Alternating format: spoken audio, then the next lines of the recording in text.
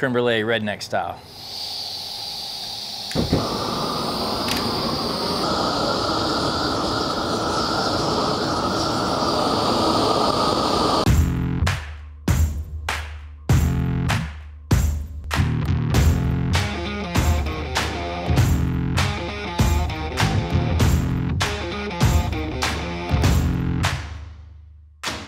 This recipe is really straightforward, like a lot of the ones we show you guys.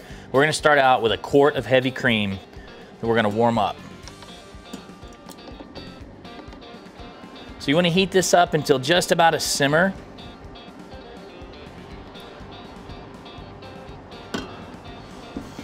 And then what we're gonna do while that's warming up is we're gonna take half a cup of sugar and six egg yolks. So I've already separated five of them. I'll separate one more here for you guys.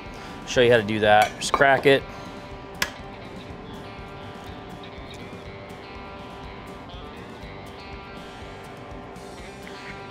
And transfer it back and forth. Separate the yolk. Just like so.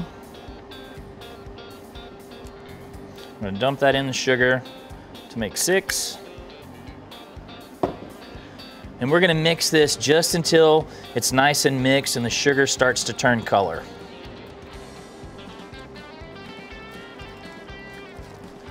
This, like I said, is a really simple recipe.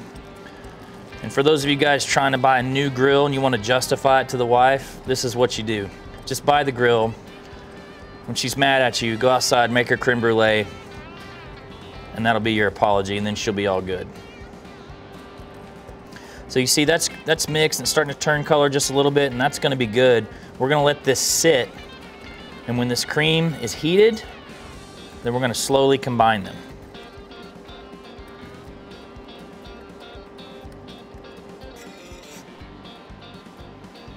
All right, that's warmed up. So I'm gonna kill this. And let's get back over here to our sugar and egg mixture. We need to add a little vanilla, tablespoon and a half.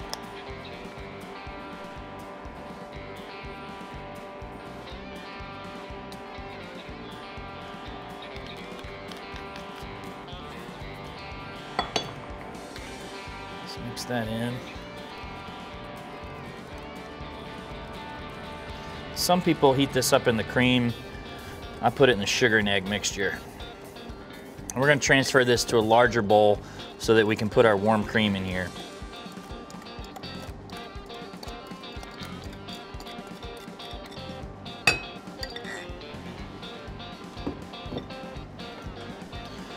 All right, now we're going to put our heavy cream in this mixture. You wanna do this slowly because you don't wanna cook these eggs.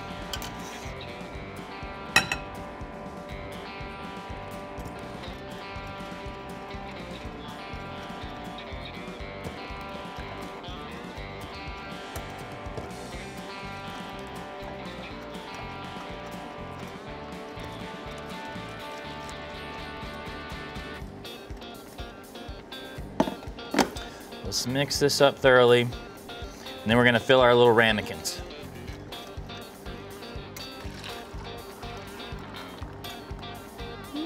Perfect.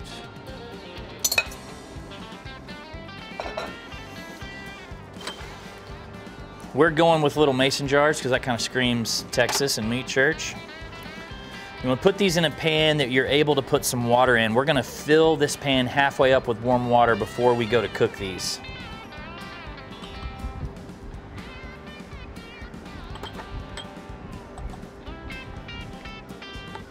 Fill each of them up. I'm not going all the way to the top.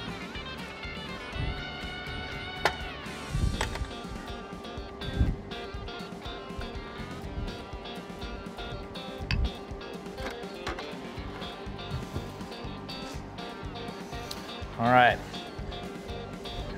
We've got some warm water here. Fill it up to halfway up, halfway up on the ramekins.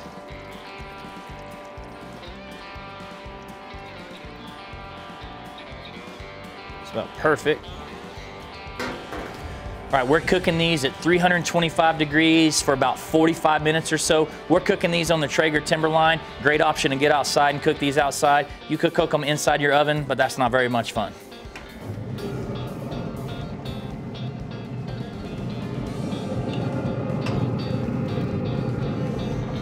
We're running a hickory pellet today. Um, you got a lot of options. I wouldn't go with a pellet or a wood that's too heavy so they're not too smoky. But we're gonna check these in about 30 minutes. We just want them to be set up nicely. Should take about 45 minutes or so, and then we'll be back.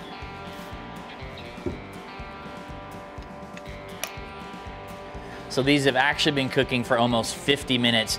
You wanna make sure the creme brulee is set, but the middle is still trembling. And then you gotta take them to your refrigerator and you've gotta let them set for three hours to overnight. I like to go overnight. Just kind of test them. Still trembling a little. They're getting a little color. These look nice. So I'm gonna go take these to the fridge.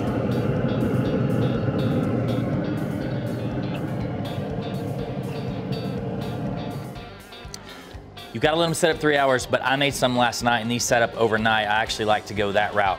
One final step.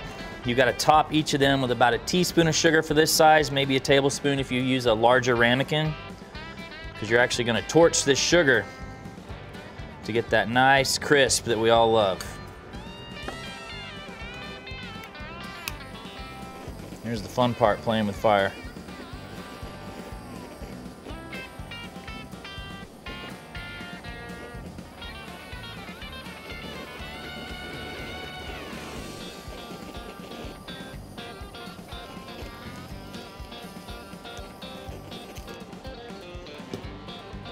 Nothing wrong with that. We're gonna let that sit for a minute. I'm gonna go ahead and work on some more while I let that sit and then we're gonna taste it.